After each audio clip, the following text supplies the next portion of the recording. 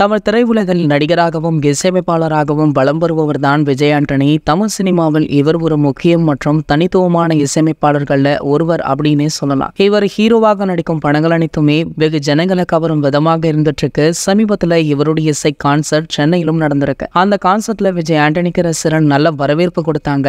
இரண்டாயிரத்தி ஆறுல ஃபாத்திமா அப்படின்றவங்களை திருமணம் செய்து கொண்டார் விஜய் ஆண்டனி. இவங்களுக்கு லாரா விஜய் ஆண்டனி அப்படின்ற மகளும் இருக்காங்க. இந்த நிலையில பாத்தீங்கன்னா பனிரெண்டாம் வகுப்பு படிக்கும் லாரா விஜய் ஆண்டனி இன்று அதிகாலை தூக்கிட்டு தற்கொலை செய்து கொண்டது திரையுலகில் அதிர்ச்சியை ஏற்படுத்தியிருக்கு. விஜய் ஆண்டனியோடைய ஒரே மகளான லாரா சென்னை அண்ணா நகர்ல உள்ள ஒரு தனியார் பள்ளியில பனிரெண்டாம் வகுப்பு படிச்சிட்டு இருக்காங்க.